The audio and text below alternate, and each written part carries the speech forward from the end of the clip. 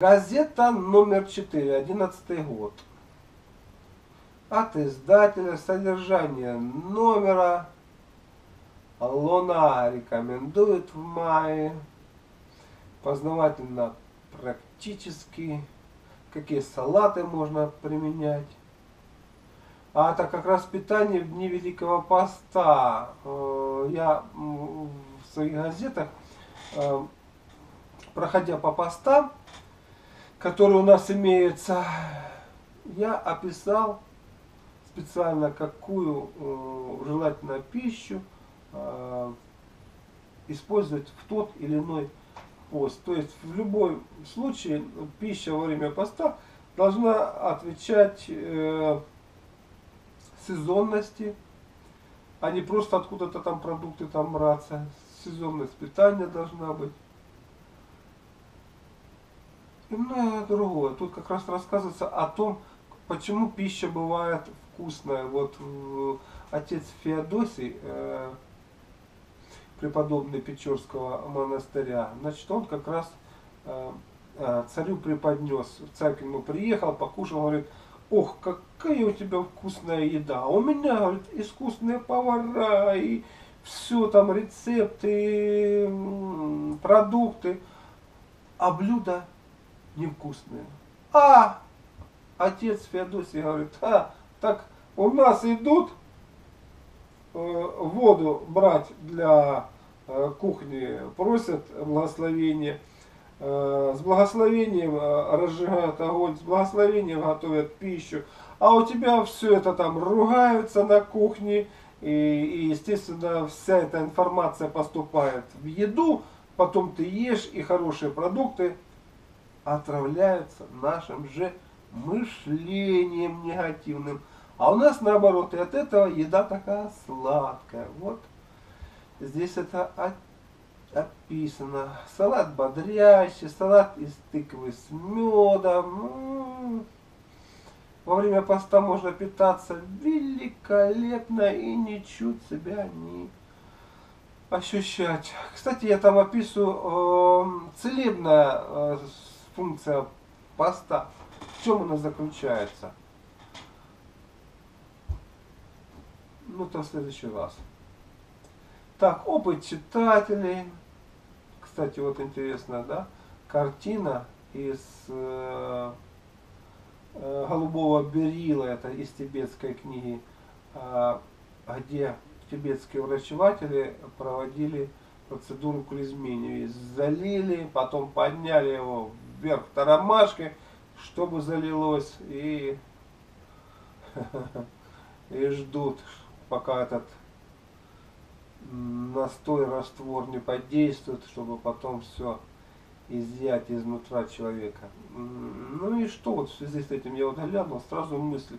Вот у нас в желудочно-кишечном тракте из-за неправильного питания, вот в первую очередь именно там, потому что а, крови, в лимфе, в межклеточной жидкости, в клетках, там ну, могут, конечно, разыгрываться какие-то болезнетворные процессы, но условий для их возникновения гораздо меньше. Практически нету таких, вот, знаете, это надо удар, паразиты, что-то такое. А зато в желудочно-кишечном тракте в основном, пожалуйста, хоть каждый, будем говорить, после каждой еды э, может возникнуть инфекция. Что-то не так съели. Что-то даже хорошие продукты смешали не таким образом, они стали неудобно варим, варимые, и там сразу же только размножаются бактерии, возникают яды, все это всасывается в кровь, и пошло-поехало. Вот я слушаю рекламу там про там, э, немезима, там как средство от вздутия которая, короче, я интересно слушаю вот эти все рекламы и поражаюсь, насколько она тупая, безмозглая, безмозглая и неинформативная. Вот, значит, от вздутия, значит, применяются там, говорит, э, такие вот э, средства, которые схлопывают эти шарики, которые дуют. Не шарики схлопываются, а уничтожаются бактерии, которые ведут брожение, гниение с образованием газов. Какие там шарики? Ну и другое там, э, там где надо сказать, что это действует быстро, то есть лечение происходит там быстро, а сказано сильно. А какое значение имеет сила к, к процессу, понимаете? Э, лечение должно пройти быстро, а не сильно. Ну, глупость. Я уже молчу о, рыбьем жире, который там в капсулах э, говорят все, что угодно. Знаете, какой-то недалекий человек все это сделал. Видите, я ругаться уже не могу, потому что знаю силу слова. А рассказано все, что угодно, кроме того, что делает рыбий жир глубоководных рыб. Почему глубоководных рыб? Да потому что жир глубоководных рыб не замерзает. Там температура плюс 4 э, по Цельсию. И этот жир, он не замерзает. И при попадании в организм человека, он также начинает расплавлять все остальные жиры, которые у нас там имеются в том числе холестериновые бляшки, и очищает сосуды. Этого не дошло до них. Кто это заказывает? Да обращайтесь ко мне. Я вам такую рекламу забабахаю, что с учетом всех слов, с учетом смысла, что это ж будет ого-го. Так, это интересно и важно. Мотив. А это как раз про поле Брега. То есть это я вот начинаю а, рассказывать об э, системах оздоровления. Как они появились. Вот в частности о поле Бреге. То есть вот как человек, э, что послужило мотивом Потому что не каждый человек изобретет какую-то там систему оздоровления и вообще займется оздоровлением. Должен быть мотив. Мотив такой, что я был хилым ребенком, с момента рождения у меня было слабое сердце. Даже в современной больнице такие дети требуют очень большого внимания. В течение первых 14 месяцев шла постоянная борьба за мою жизнь. Я страдал сильным сердцебиениями, в 8 лет меня свалил ревматизм, ревматической лихорадкой. Я в течение 10 дней находился между жизнью и смертью. Ну, короче, он переболел всеми мыслимыми и немыслимыми болезнями. Потом начали развиваться у него синусит, астма, бронхит, а затем туберкулез. Смотрите, вот, вообще-то, вот знаете, у меня есть способность выуживать информацию и раскручивать ее. Вот болячки. Синусит, астма, бронхит, туберкулез. Туберкулез, представляете? Туберкулезная палочка и э, как дальше жить. Первоначальная помощь у него была. Я провел несколько лет в санаториях, где меня приговорили к смерти. Казалось бы, надежды выжить нет. Но! Почему? Вот так все происходит. С самого, знаете, вот в рождении вот так пошло и, и поехало. Э.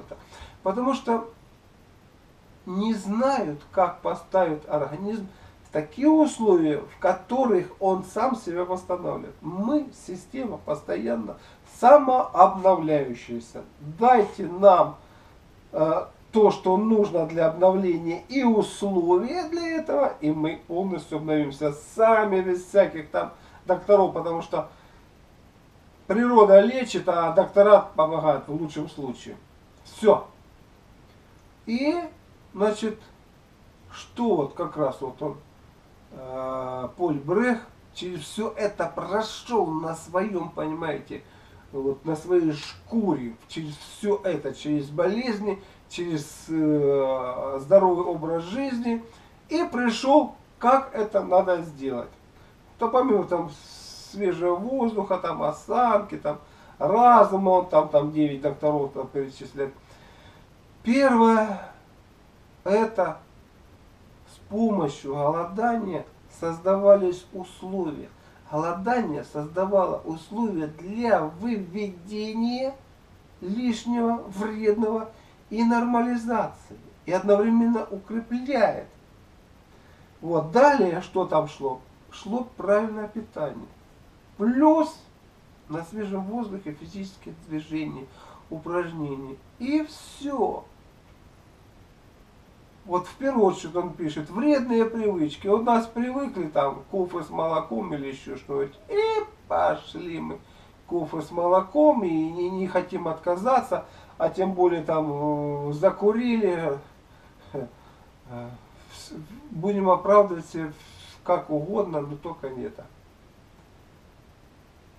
И как только все это произошло, здоровье стало нормализоваться. А далее он из доходяги, который должен был умереть лет в 10, да, дожил там до 90 с лишним лет, то есть стал долгожителем. Где-то в 96 он умер. Литературная страничка, рассказываю, как Петрович, то есть я, голодал, что там делал. Вот.